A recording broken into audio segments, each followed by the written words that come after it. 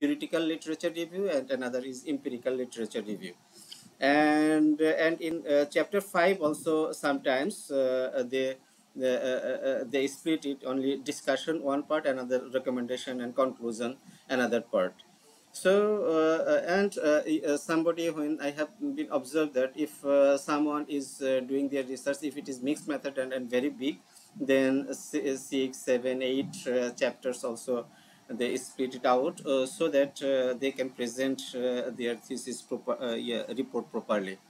So in preliminary, examination, uh, sorry, preliminary information, which includes title, affiliation, abstract, declar- uh, yeah, declaration, knowledge, acknowledgement, table of contents, a list of tables, a list of figures, and list of publications. These are the, the preliminary uh, information that you need to put in the thesis. And uh, in chapter one, uh, you have to highlight what I want to do. In chapter two, uh, what others say about it. That means the uh, existing knowledge or what uh, the other authors their findings their statements about about the issue that you are going to study and uh, uh, chapter 3 is research uh, design and methodology mm, your plan for doing it and chapter 4 analysis and results what happened when i did it and discussion and conclusion what uh, what this means and what i found out okay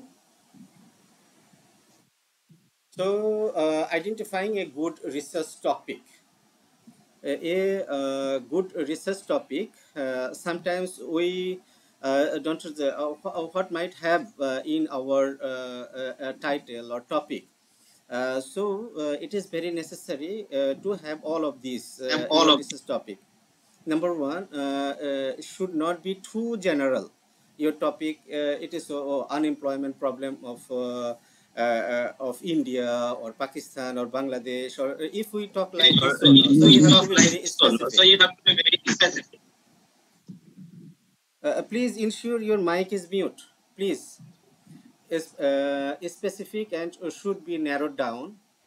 Your topic should be very narrowed down, and uh, must be from an interest uh, interested discipline and uh, focused research, topic of interest and uh, importance, topic of relevance and industrial applications, further scope, possible uh, uh, limitations. Who is talking?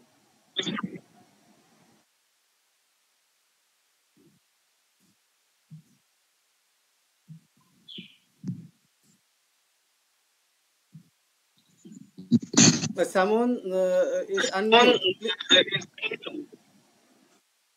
Who is making noise? Please.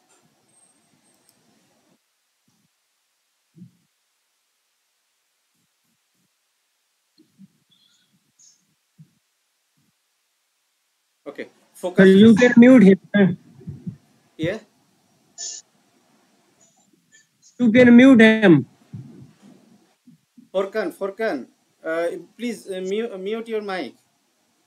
Focused research and topic of interest and importance, topic of relevance and industrial applications, and further scope, possible limitations, useful of the uh, society and industry, and the novelty. So you have to uh, consider all these factors for determining your topic or area of study. So uh,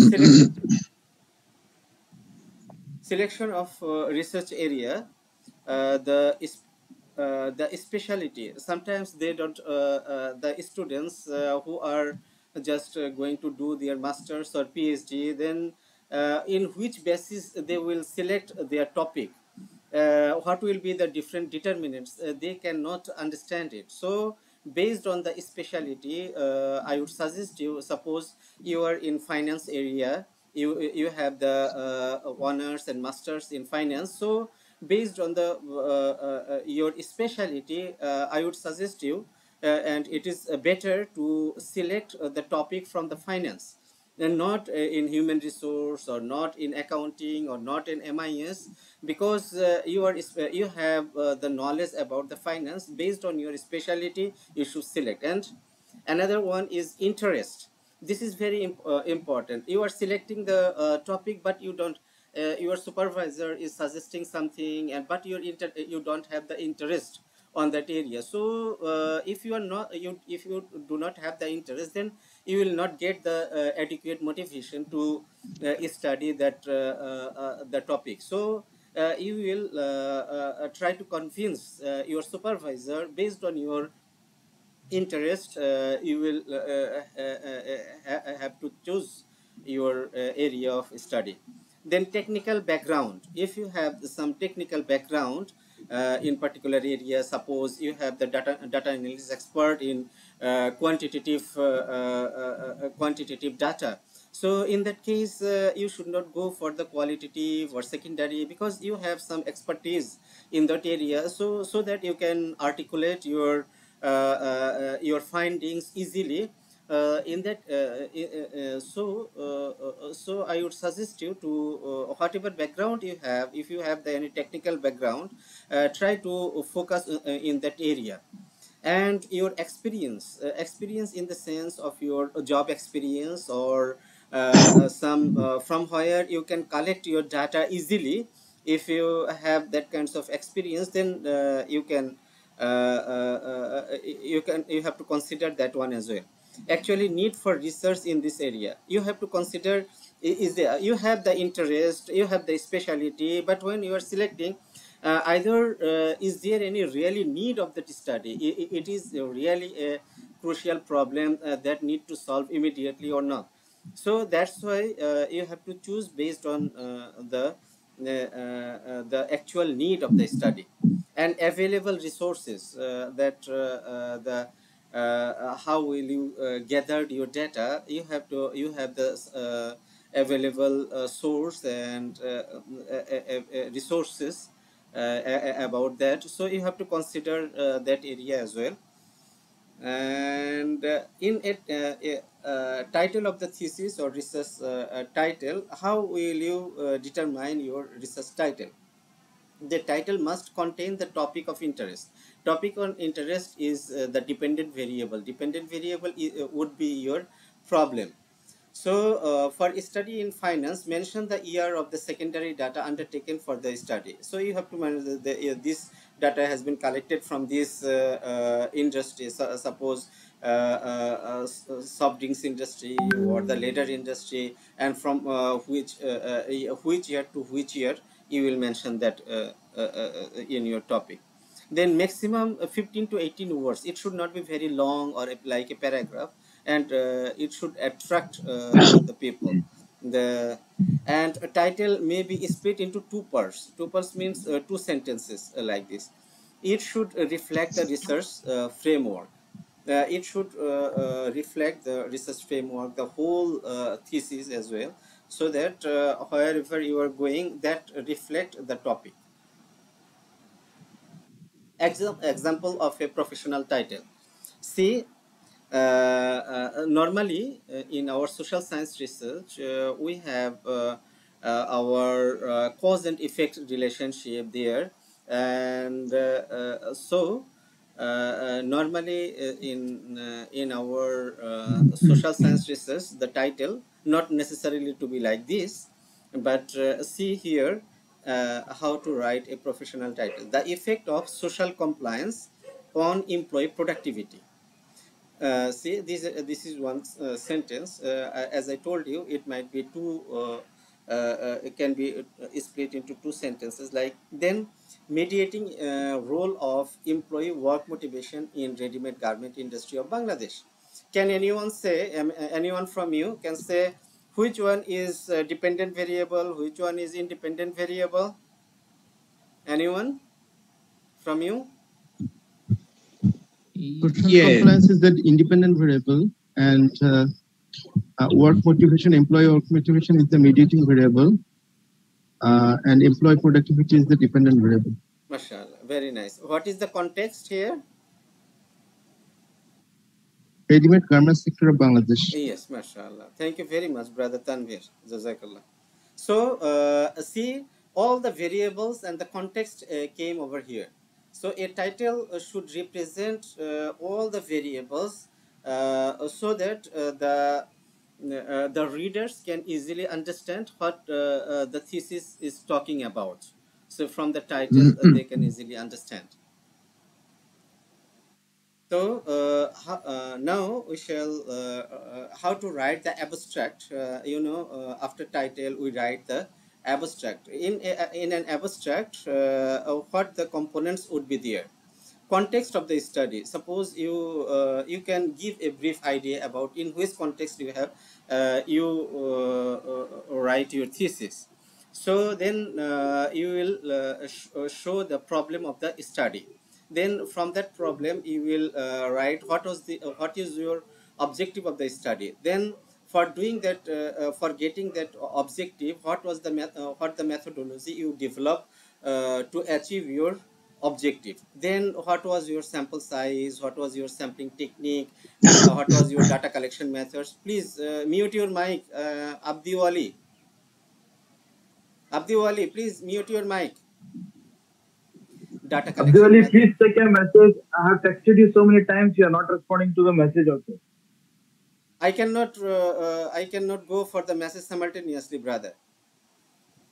Sorry, not for, not for you, sir. For the Abdul Ali, the person who has not muted Okay. himself. We have texted him personally also. He's not in the message. Okay, okay. Sorry I'm, for you. uh, I'm I am uh, just give him out. Abdul Wali. huh?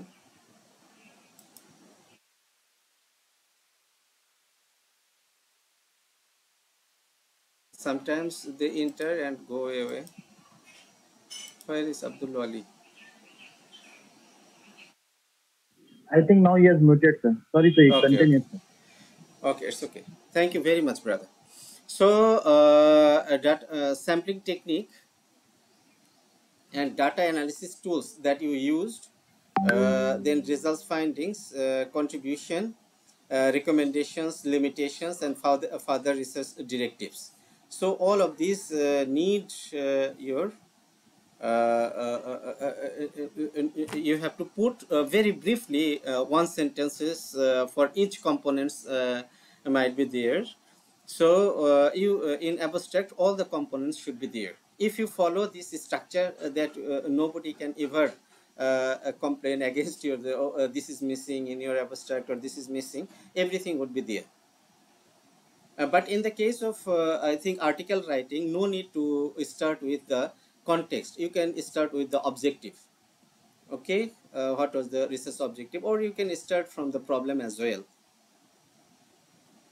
Uh, example of the abstract. See, uh, this is uh, the context of the uh, uh, of the uh, uh, uh, study uh, that uh, uh, uh, we st- uh, this started uh, from this uh, context uh, like uh, the ready-made garment industry of Bangladesh has secured the second position in exporting the garment to the global market.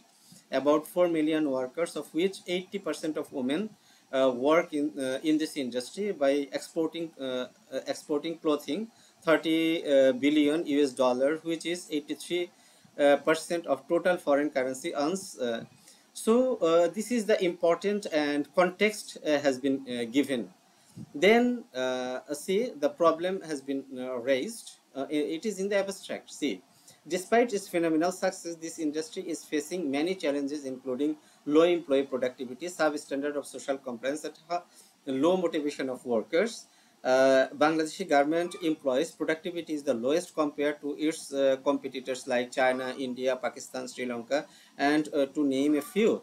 Bangladeshi garment industry would be challenged to survive in the world uh, market unless they improve employee productivity. It, I, I- think it is uh, sufficient enough for the showing the problem of this industry. So, uh, so what is the objective from this problem? What you want uh, uh, to achieve? Therefore, the primary purpose of this study was to observe the relationship between social compliance practices and employee productivity with the view of employee work motivation as a mediating role. So objective also comes. Then the study was conducted under positivism. This is the uh, uh, this is the methodology. Which methodology you have chosen for resolving the issue? So uh, the uh, so, sorry the, for conducting the study. The study was conducted under positivism philosophy, for which motivational theories and job demand and resources model were used for framing hypotheses. A deductive approach, uh, explanatory research design, and uh, cross-sectional uh, time horizon uh, time horizon were followed to conduct the study. So this is uh, the methodology uh, been explained and see how uh, all the information given with shortly uh, through a quantitative uh, questionnaire survey 74 items were taken from as existing literature to ensure the variables after after an overall pilot survey uh, the pilot survey also comes and what was your number of instrument and what was your data collection method all came together uh, uh, uh, within one sentence by a systematic probability sampling technique, 500 samples were collected from the target population. Then SPSS and SEM using Smart PLS were used for analyzing and developing the model. However, this is the data analysis and uh, uh, sample size, sampling technique all came together. Uh, However, the results of the analysis revealed that 14 hypotheses among 16 were supported and uh, 2 were not supported. Thus, a subsequent social compliance, uh, uh, uh, social compliance productivity relationship model was developed for the. This is the findings, and after findings, say these findings will help the policymaker, government of Bangladesh, factory owners, managers, and other stakeholders uh, to formulate the next policy and practices. So uh, this is your recommendations. Okay, the study was carried out only on. This is the limitations also comes. EPZ factories has been chosen. Now future research directives are talking. Uh, in future, comparative research can be carried out uh, by collecting samples from EPZ and non-EPZ factories. Another research can be done including uh, other social compliance variables uh, which are not included in this study. See, future research directives, uh, then limitations, uh, then uh, the recommendations, findings, your methodology, data analysis, all comes within uh, very shortly. So this is how we write the abstract. Okay. Now I shall start uh, the introductory chapter. Before going there, if you have any questions, you can ask me, brother. Okay, yes, sir. I do have a question. Yes, please. Okay. Um, supposing our, our topic has to do with labor relations, strategies, and industrial competitiveness. Say that um, the study is both micro and macro study, or is just a macro study since we are looking at industrial competitiveness. I don't understand. What did you say? It says supposing our title of the Can you raise your voice, brother? I said, supposing our title, our, our project title is Labor Relations Strategies and Industrial Competitiveness. Can we say it's both a macro study or just a macro study? Okay. So, what is your question, brother? Can we say it's a macro or a micro study, the scope of study? Okay. Sir, uh, sir, he is asking about whether this study is a micro or macro level study. Which level? Uh, it is. Uh, uh, uh, you can say uh, it, it is not. It is not uh, based on economics. It is in social science research. Under this uh, we don't go for macro or micro. We directly talk about the context. It is done in the garment industry. That is why it is been like this. But if you are in economic econometrics background, in that case, if you are studying in macro level or micro level, then you have to mention uh, based on your study. Got the point, brother? Okay. okay. So, if you have any uh, valid question regarding your abstract or title or anything, uh, otherwise I shall move for the introductory part. Anybody have any other question? Yeah, Yes, yeah, please. Prof. I have a question. Please, please. In abstracts, only you have to make the abstracts in three paragraph, the mostly two to three paragraph. And the information we get from your presentation, says include a lot of information. I think it will be more than three paragraphs. So, so how we organize that? I, I, I told you, brother, uh, based on uh, the uh, uh, the components I have tell you, you have to go for context, one sentence on context, one sentence in problem, one sentence in methodology, one sentence in data collection, one sentence in like this. If you go for this, see my uh, these components if suppose 1 2 3 4 5 6 7 8 9 10 11 12 13 suppose you will uh, for each components you will write uh, 19 uh, sentences. So within these 19 sentences you try to uh, uh, uh, uh, uh, try to articulate uh, your uh, abstract brother. That will help you inshallah. So uh, suppose uh, you will uh, one sentence uh, regarding context of your study. Then uh, problem uh, context and uh, importance of that industry. Uh, in the importance in the sense of uh, the employability or in the sense of uh, revenue in the sense of uh, uh, uh, uh, uh other other other context importance and the context of the study by one sentence. Then problem statement in one sentence objective in one sentence like this. So if you write in this way then you can articulate brother. Recommendation limitations future research any other question? Otherwise i shall move forward okay uh, brother. Uh, so a classical please mute your mic brother everyone. Okay. Uh, the uh, a classical uh, dissertation as i told you uh, uh, yeah five uh, chapters in uh, the first chapter is introduction. Here uh, these are the elements that need to be brother please mute your mic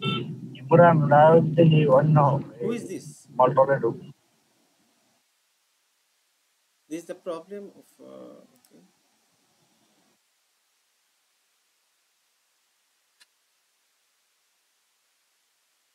okay. Now uh, this is the uh, uh, number one. The preamble you have to write the introduction or the preamble based on your uh, uh, you have to uh, give the idea of uh, uh, in introduction uh, idea of your research problem your context your importance of your variables. All the variables you can talk a brief about your your variable uh, dependent independent and uh, the mediating moderating variable your context uh, and importance of your study. You will attract the reader in uh, in your introduction part uh, or in preamble. Then uh, you will write uh, uh, the background of the study in which background your uh, study. Then you can uh, give the idea uh, the importance of the of your uh, uh, of your study. Then problem statement uh, uh, i shall talk all of this uh, how to write the problem statement how you will uh, uh, uh, you will highlight the issue of your study. uh, in in the problem statement.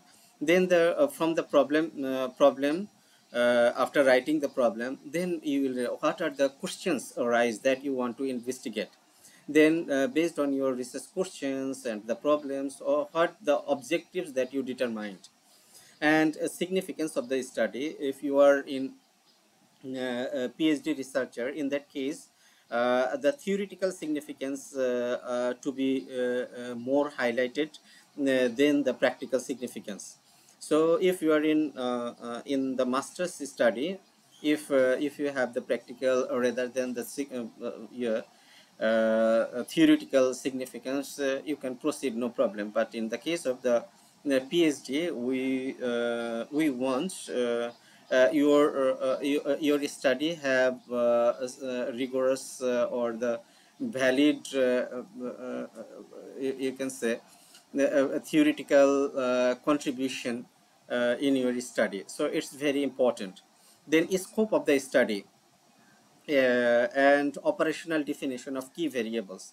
What is operational key uh, uh, definition means uh, in your in your thesis, the variables that that are being used and what that variables means in your particularly in your thesis. Uh, You have to define your variables. So operational definition is very important and uh, giving uh, the operational definition one of the most important uh, some though some scholars some professors they say that it uh, this uh, uh, variable definition of the variable should be the definition from the ex- you have to take it from the existing literature but somebody says since the the investigator himself are using for his uh, uh, uh, own uh, own study the definition would be given by the researcher himself. So there is a, a, a different point of view is there. Uh, so uh, either you can use your own definition or you can use uh, somebody else definition for uh, as operational definition of your variables. Then a chapter summary should be given in uh, the introduction uh, in, uh, introductory part of your thesis. So how to uh, write a preamble of uh, or introduction I, I just given an example suppose if you go through these how to write an uh, a preamble so employee sorry uh, employee productivity is one of the essential components uh, of a, uh successful uh, business organization. Workers who put forth a sincere efforts create an immense difference in company returns. Workers who concrete only on their uh, duties without any extra effort can put the advancement of the business into an impulse. Just given within the introduction, given an introduction. Therefore, it is imp- imperative to motivate all personnel to touch their chock full potential at the high, highest level of productivity. Since our problem is productivity, now we are going for uh, uh, talking about the productivity. Business enterprise uh, that distinguish uh, and uh, em- embolden their employees have improved productivity compared to their counterparts that don't provide such a notion. In this way, you will write. You will go in details. Uh, since we don't have uh, huge time, you know, only one day, single day, so I cannot go uh, very detailed. So you will read it and how to articulate your preamble uh, that you will uh, uh, get an essence from uh, this from from this text. So in this, you will follow in this way you for writing your introduction. Then, in the background, in the background uh, of your study, what are the uh, component? What are the uh, determinants need to be considered? You have to put uh, uh, the general information about your topic. What is happening now about your issue that you want to study? then the context of your uh, topic what are the conditions settings and situation with respect to your topic if it is garment industry the what is the uh, current uh, scenario of the gar- garment industry of bangladesh then its settings and what is the situation of employee productivity there what is the situation of social compliance and uh, employee work motivation? You have to highlight the uh, uh, but you should not talk about in general or everything. Wha- whatever uh, you have decided what are the different components?